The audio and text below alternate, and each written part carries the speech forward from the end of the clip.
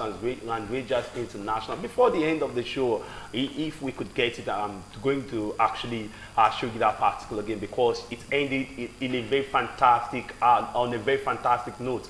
Rangers were trailing initially and they came back and they actually got the better of Kano the last. It ended in a penalty shootout and Rangers winning by four goals after two. And away from that, let's talk quickly talk about um, uh, athletics this particular time. I'm talking about uh, Falilat Ogunkoya being the flag bearer of the 2019 Warri Ephron Peace Marathon activities. Well, Actually, it will be taking a center stage on the 30th of this month, uh, uh, trying to campaign for what we'll be seeing come next year in the marathon. Stephen Abiodun. Yeah, for me, it is a good thing. And when we talk about, when we are talking about athletics in Nigeria, I think Falilat Ogunkoya is one face we all can recognize and reckon with. So for her to flag up that, I think it's a good thing. And also, you know, it's, uh, it's something that I want to use to draw out support and also sponsorship for the for the game. So for me, I think it's a good thing. But it's a good one coming from Falilat Ogunkoya. Just want to have your reaction to this particular marathon we are getting year in, year out in the Nigerian sports scene. Lagos has a marathon.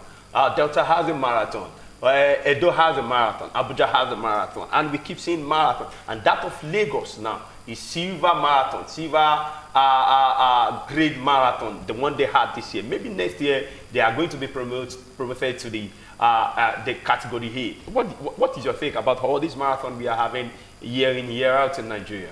I think it's a good one. Um, you know, don't forget marathon. I mean, it's part of those events that takes place on uh, in the Olympics of and course. all that. And uh, but we've not really been.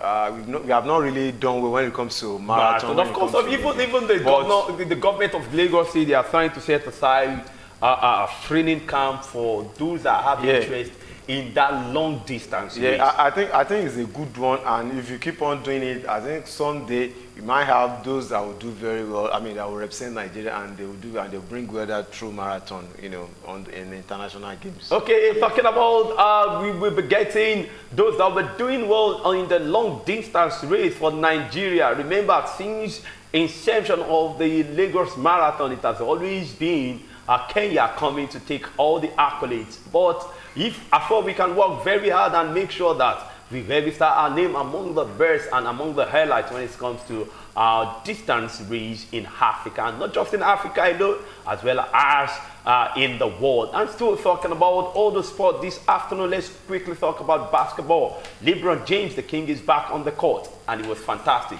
Uh, just let, let's, let us quickly talk about LeBron James. Is uh, he- he- what he has been doing over the years and what he has continued doing. I want to quickly have your take on that. You know, you know, LeBron James, as we know, when we mention basketball, it's like we are mentioning LeBron James. Of course, of so course. definitely, The he's king, a fantastic player. James. That's why it's called the King. LeBron the King, James. Of course. So, uh, you know, you just left Cleveland Cavalier to another club, and even with that, you know, starting the season, he has shown what he's capable of doing, and he, he seems not to want to stop, despite everything that has been done to stop him. He also played. A, lot- he also he played against against Steve Curry. Of course. I think in the uh, some Yesterday. not just yesterday. Though Steve Curry got 51 points with that, but uh, uh, But know, he had 43. he had, he had for he A doesn't fantastic one for him. It's a fantastic one for him, but you know, you know LeBron James, you know what he's capable of doing. He's just starting up in a new club. So what do you expect? He's going to he has to familiarize He's going to be very, very tough. He's going to be tough, but definitely you know, for him starting and still getting for three points, definitely he's still got a lot inside him to give out. Oh, he still has a whole lot to actually give the world of basketball. But let's take a look at the top 10 of basketball, talking about October 25th night. The games we saw, but we'll talk about the top 10 donks in those games. And after that, Sports Beat will continue.